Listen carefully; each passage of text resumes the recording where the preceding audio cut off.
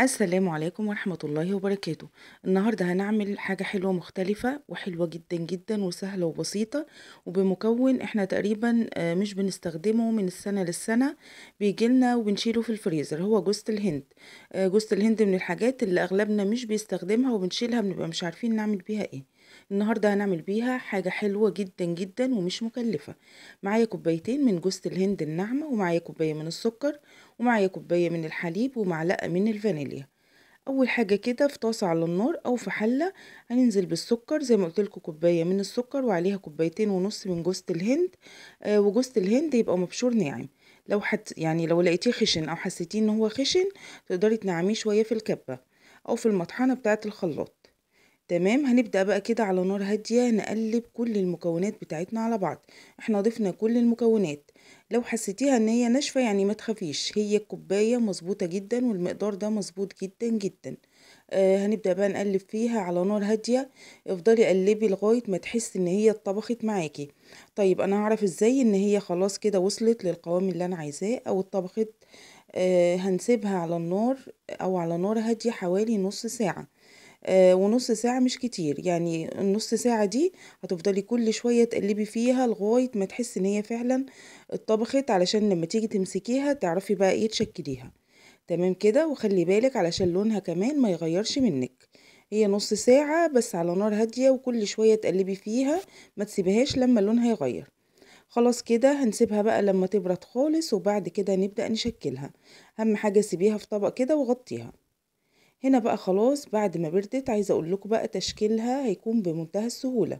زي ما أنتوا شايفين تقدري تبلي إيدك نقطة زيت صغيرة بس علشان تعرفي تشكليها كويس. آه شكليها بقى الأشكال اللي انت عايزاها. عايزة تعمليها كور عايزة تعمليها صوابع طويلة عايزة تعمليها أي شكل انت حباه مفيش أي مشكلة. هنا بقى التشكيل والشكل بيرجع لذوقك.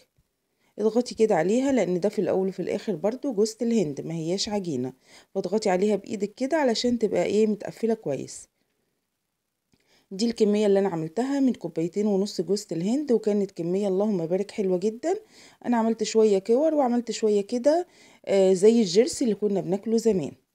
هنا بقى معايا كده الشوكولاتة بتاعتنا. أنا جبت بار شوكولاتة وهي خدت بار الشوكولاتة كامل. تمام؟ آه حابة بقى لو عندك شوكولاتة بيضة لو عندك آه شوكولاتة اللي هي الغامقة اللي هي مش بالحليب أي شوكولاتة بتحبيها مفيش أي مشكلة.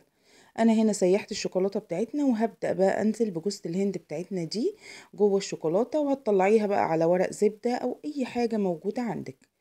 آه الخطوة المهمة بقى إن إحنا نسيبها تاخد راحتها ونسيبها في التلاجة لغاية ما الشوكولاتة تجمد.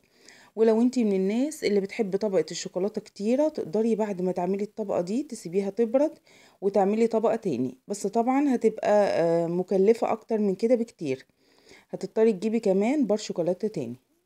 تمام؟ فهي كده حلوة جدا جدا آه وطعمها جميل ويعني متوازنة جدا جدا. كمية الشوكولاتة اللي عليها كانت حلوة جدا مع جوزة الهند اللي جواها. تمام؟ هنخلص بقى كده كل الكمية بتاعتنا دي. وهنعملها بقى ونسيبها زي ما قلتلكوا آه تبرد في التلاجة. كل ما بردت كل ما كانت أحلى. وقدميها بقى لضيوفك وبجد آه صنف حلو جدا جدا آه وحلويات سهلة وبسيطة. ولو ولادك مش بياكلوا جوزة الهند أو مش بيحبوها صدقيني هياكلوها وهيحبوها جدا.